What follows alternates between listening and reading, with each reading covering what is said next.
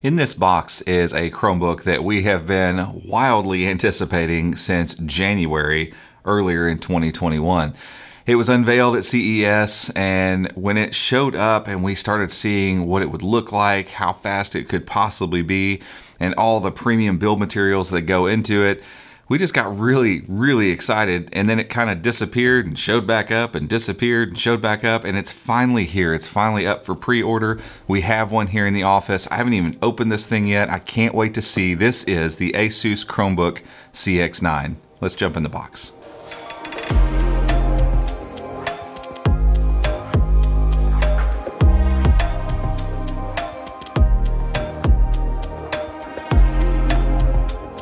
All right, so let's just get down to it and hop in the box here. This is a an abnormally large Chromebook box. I'm assuming there's something going on inside here. Yep.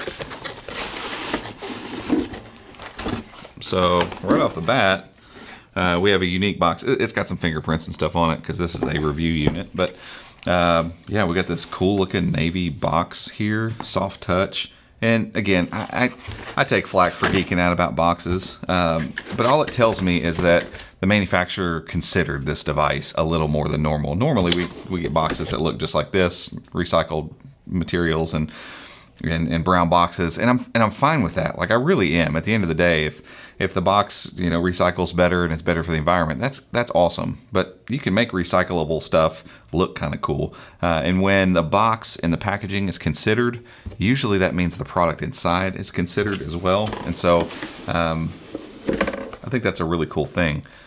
And honestly, like this is one of the cooler boxes I've seen. Other than, this is better than Samsung's boxes. This is this looks and feels kind of like a, a Google made box, which is really cool. This, I don't know what this is, but we're gonna open it and see what's see what's in it. Uh, so that's the big box out of the way. Um, we'll we'll come back to this thing. I did not just notice. It's like a diagram on here. I don't know if you can catch that on camera or not, but it's like a diagram of making that into a laptop stand, but there's something in here, so I'm guessing the box doubles as some sort of laptop stand or something. I don't know. Um, weird play there, but you probably don't really care what's in there. We care what's in here. And again, you know, this device uh, checks a bunch of boxes for people that just want a Chromebook that is just flat out amazing at everything. So 400 nit screen, you know, Core i7 11th gen processor with Ooh, that's interesting. Uh, with uh, uh, Intel Xe graphics, half a terabyte of NVMe storage, 16 gigs of RAM. This thing is just maxed out Chromebook. And honestly, at $1,150 uh, for what is on the spec sheet, it's actually pretty reasonably priced, I think, because this isn't, uh, you know, trying to be some sort of affordable Chromebook. This is trying to be high end, corporate feeling just a, a, really, really well designed Chromebook and a well thought out Chromebook. And even the lid here uh, doesn't just pop up, it, it actually hinges open, which is a nice touch. And you can probably catch that here. I'm noticing this. So as you lift it, you see the Chromebook kind of just like lift itself out of the box for you. Nice touches. Again, considered. Uh, and and that's that's kind of an interesting thing uh, when you start talking about uh, boxing and, and packaging. And now that I'm looking at this, um, it doesn't, let's see. Yeah, there's no battery or no uh, charging block in here. So I'm, this is probably the charging block. So that is a an odd little bit of boxing there. Uh, usually you would just make this box big enough and the charging brick would be in here somewhere. But we'll again we'll open that up here in just a second. Uh, general paperwork stuff in there. But again, that's that's just a fun little thing. You know, it lifts up because that's kind of this one. If you've seen the images of this particular Chromebook, the the hinge on it really like we've had some Chromebooks do the ergo lift kind of thing, and you know the keyboard comes up a little bit when you hit the hinge. This thing comes up a bunch, and so uh, so yeah, here it is, and it's uh, just over two pound, super thin glory. Uh, so let's see if we can just slide it out of here. Not gonna happen. Get that out of here. So I'm sure this thing, man, that that's really light. Uh, this reminds me of a Chromebook that Acer had at CE, or not a Chromebook, it was a laptop uh, PC uh, that, that Acer had at CES like two or three years ago. I remember it was so crazy thin, like picking it up, it almost felt abnormal uh, how light it was. This is approaching that. Uh, nice and thin, uh, not crazy thin, like it's not a razor blade or anything like that, but really beautiful um, navy color. And I, I, think this one is some composite material, so it's not all straight up aluminum. Uh, they wouldn't be able to get the weight down quite this low if it was all aluminum, but it's going to be some alloys and that kind of stuff uh, going on here. I'm gonna I'm gonna open this and hopefully Joe can grab that there as we lift it. And you see that hinge hits right there and really lifts up the chassis and whew, that screen is bright. So 400 nits is what uh, Asus uh, has this listed as and I can tell you as soon as it, it came up and it is super bright, that is definitely the case. Um, and the the cool trick that this thing does is when when you open this thing up and that hinge kind of slides up underneath the keyboard, hey, it lifts the keyboard up, so it gives you a little bit of an ergonomic typing experience. But it also hides the bottom bezel. You know, the bezel. You, it's almost impossible to see um, from most uh, vantage points. It's not huge, but you know, there's a, a little half inch bezel down there. Well, it gets hidden behind the keyboard. So when you look at this thing straight on, it really looks like there's almost no bezel on the bottom. It's got these tiny bezels around the top it's it's attractive. I mean, this thing is a really, really good looking device. Um, and let me look around this thing just a little bit more. Obviously backlit keys, and they're dark keys. Um, so as we've seen in, in Asus's prior Chromebooks, um, sometimes they have these like light gray keys, and the, the light bleed can, can make it a little interesting to see in different lighting conditions, the symbols on the keys. Not the case here. We've got really nice dark keys uh, with very little light bleed uh, around the edges and I'm gonna crank that all the way up on the keys. Yeah, it's just gonna, in the in the evening or if you're in a low lit scenario, that's just gonna have a nice glow to it. The keyboard feels incredible. Uh, the entire deck of this thing feels very sturdy. Pick this thing up. Oh my gosh. Yeah, and this is like Pixelbook level sturdiness. Um, uh, Pixelbook, Pixelbook Go. Uh, these things, you pick them up, they're very, very light, very thin. But I mean, I can hold that thing right by the corner and there's just no bend going on here. I mean, no flex in that chassis at all. Uh, and that's just a cool feeling thing when you can pick something up that's so light and so just like breezy feeling, but it's also substantial. There's something really cool about that. So you've got to consider you're getting half a terabyte of NVMe, 16 gigs of RAM, a Core i7 11th gen Intel processor here, a 400 nit display. I'm going to make sure this one is touch. Yes, this is a touch display. There are some models that won't have touch. You're getting a big, huge, perfectly clicky glass trackpad here. I don't know if this will probably not until we're, we're logged in and going here. There, a number pad will show up down here. I'm going to work on that. I'm, going to have to get logged in and stuff here in a minute. Uh, we got a fingerprint reader. Uh, I think the only notable exception here to the overall Chromebook experience, well, two of them actually. This is not a convertible, so you can't flip this thing around. It opens up, man, that opens up really wide. Holy crap. That's that's way wider than, than I would have expected. Um, so it opens wide open. Uh, but there's no pen support here. So it's not going to convert into a tablety kind of experience. And it's also not going to accept USI stylus support from what we can tell. Um, obviously during the review process and stuff, we'll, we'll check. I mean, who knows? We could get surprised. But what you're getting here is this clamshell, uh, like peak Chromebook experience here. Just looking at this thing already, I can tell you, man, this this is going to be an absolute joy uh, to use and, and just watching it just kind of stand itself up when you open it uh, wow, I'm, I'm already impressed with this thing. So let me cut away real quick, get logged in, and we'll run a couple other quick tests on it.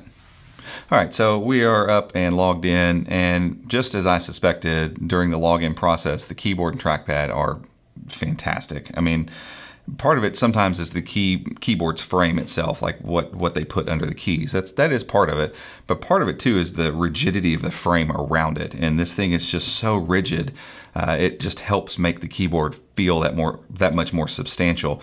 And another thing I noticed too as I was going about uh, getting things set up, I guess it's the way the hinge sits uh, on the table.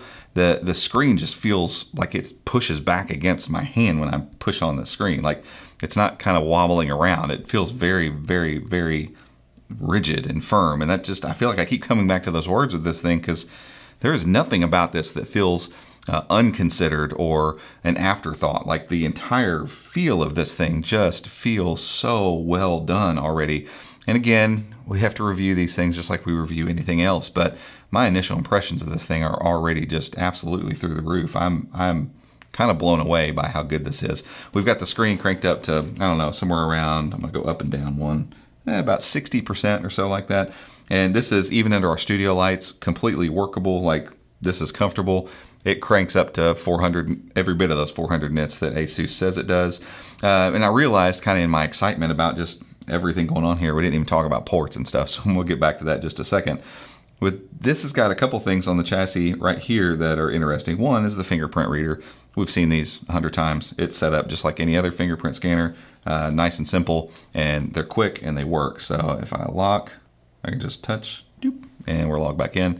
I love that. I wish that every $600 plus Chromebook had a fingerprint scanner. Uh, one thing I advocate that I think every Chromebook, every laptop should have is just the privacy shade up here. Uh, this one's a nice, easy one to slide. It's not all sticky and hard. Like a lot of times you get to dig in there with them. Uh, not the case here. It just opens and closes really quickly. So it's nice to know I can see that dot up there and know that my camera is in fact turned off. And the trackpad feels great, has a great click. Uh, again, going through the setup process, it's like, yep, this is this is a good trackpad. Again, aided by the rigidity of the chassis. But then it's got this really cool trick of its sleeve, and there's a little icon up here. If you just hold there for a second, boom, you get a number pad. Um, and uh, let's do, I'll do this so I don't completely blow the shot out. So you can see my text there, 7784561223. Boom. And the minute I go to click, I can still click my mouse with that up there. So I can tap for numbers and click through for my normal mouse activities. And when I'm done with that, just hold on that thing again and it goes away. That's just really, really cool. So as I said, uh, I didn't get a chance to walk around the ports because everything about this Chromebook right now has, has got me really, really excited. Uh, but on the side, we've got two USB Type-C ports. Uh, these are Thunderbolt ports as well, Thunderbolt 4, HDMI uh, port, uh, which is uh, again, on a device this thin, that's really cool to see uh, the inclusion of that. Because again, don't think there's going to be a lot of enterprise people using this, uh, corporate individuals who are going to go give a, you know, lead a meeting or something. Sometimes it's just easier to plug in the HDMI port and move on and not have to deal with a dongle. So that's that's a welcome addition. Micro US or micro SD card slot, headphone microphone. Uh, one full-size uh, USB Type A, which is always beneficial, and one of the Chromebooks I think really needs a Kensington lock port. So uh, this thing's out and about somewhere. Yeah, you better lock it down. Somebody's going to walk off with this thing because it is uh, absolutely phenomenal. One other thing that uh, during the the setup process, while I was kind of getting logged in. I was like, hey, might as well. There's a USI pen right back there on the shelf. Might as well grab it and check to make sure it works. Um, happy to report that, in fact, it does uh, work. Well, it did. There it goes. Um, so yeah, USI pen support uh, totally works. I, I, could see why Asus maybe wouldn't have put it in there. We couldn't find any marketing material that said it actually had it in there, but um, I could see them not putting it in because you know writing on a upright screen is kind of weird. But the fact that this thing lays flat, if you needed to take some notes, this wouldn't be the best thing to do it on, I wouldn't think. Uh, but in a pinch, you could lay this thing down and write some notes down if you needed to. Uh, or if you just like to annotate a PDF or something like that. Uh, you know, a USI stylus is going to work. Obviously, Asus and all kinds of other people make USI pens at this point, so uh, you can grab one of those and use it to your heart's delight, at least with the upper end model of this that has the touchscreen on it. Again, lower ends don't have the touchscreen, so uh, with those, you're not obviously not going to be able to use a USI stylus on them. One other thing I want to point out is this is a fanned version uh, of the uh, 11th gen Intel processors. So Asus did release uh, another kind of high-end uh, flippable Chromebook, the the Flip CX 5400 and it's got these non-fanned Tiger Lake processors. We're in the we're in the process actually of going through a review with that device too. So we'll have to see how the uh, the lack of fan affects or doesn't affect uh, those particular versions of the Tiger Lake chip. But this device is fan. There's a relatively small fan port here on the bottom. That's that's not huge. Um, and I'm trying to see if they've hidden. Yep, there's some fan ports hidden in that hinge, but the way that it, the ergonomics of the way this thing works, you'll, you'll never encounter those uh, whatsoever. But man, I'm impressed uh, with this thing 100%. But before we get out of here, let's see if there's anything else fun in this box. Watch, you know what's probably gonna happen? I'm probably gonna open this up and there's gonna be like a USI pen in here. And I'm gonna feel like an, an idiot for uh, saying that it wasn't uh, pen enabled earlier. Uh, let's see. Professional unboxer here. Uh, where's the crease? This is very interesting. Or not so great at actually getting the thing out. So it's a laptop stand for sure. But I'm trying to open this stink. There it comes. Uh, yeah, no surprises here. Wait, let's see if this opens. Oh, I was really hoping there was going to be a pen in there. Uh, no pen. Uh, ooh, but I like this. Uh, and let me explain why. So this is normally uh, the USB-C chargers you get with ASUS's devices. It looks like this, except there's a, you know a, a, plug here that you plug into the wall, or right here. Uh, this is a two-piece, so you would plug this in. The only thing I would like to see in this is it actually have a a wall wart where you could actually plug it in the wall from here if you wanted, or you could extend it. Um, this is extension only. So I know that doesn't seem as nice uh, or as or as easy to use all the time, but these things are hard when you try to plug them into uh, power strips. So it's nice to have just a single um, um, plug at the end. It fits into a lot more places. So um, you know you can buy yourself a different one if you want something a little smaller uh, to tote around with you. Asus sells them obviously, um, but yeah, this box just has the uh, just has the charger in it. But according to the uh, where they went, oh here yeah, according to this, you're supposed to put your Chromebook on this, I suppose. Not great. Um, yeah, this could have just been a box, but you know, whatever. Have fun with your packaging. Uh, it's kind of cool that they do uh, little stuff like that. But ultimately, under all this boxing, under all this packaging, under all this stuff, lies what probably is one of the best Chromebooks I've ever laid my hands on. Uh, and I hate that it took so long to get here, but you know, COVID and all that kind of stuff uh, may have slowed things down. But now that it is here, this is going to be a tough Chromebook to beat. And I'm adding this in with every Pixelbook and every Google made thing and every nice Chromebook we've ever laid hands on. This thing is pretty amazing, but we got to review it.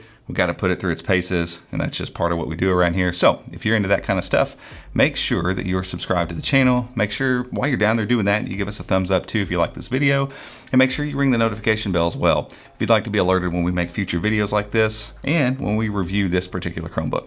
Till next time, we'll see you.